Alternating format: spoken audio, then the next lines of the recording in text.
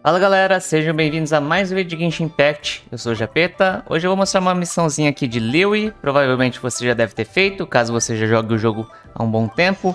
Você vai ter que conversar aqui com o GI, tá? Pra você poder liberar essa quest, antes você vai ter que fazer outra quest, que é o X de Outrora.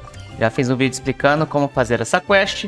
Dessa forma vai liberar aqui a missão do GI, que ela se chama Vontade de Pedra. Antes de dar essa quest Vontade de Pedra, é, o Jai vai ter outra quest também.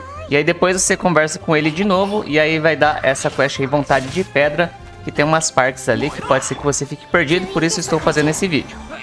Bom, então vou deixar o vídeo passando aqui e aí vocês dão uma olhada aí onde ficam é, os lugares aí que você tem que ir para poder completar essa quest. Beleza, galera?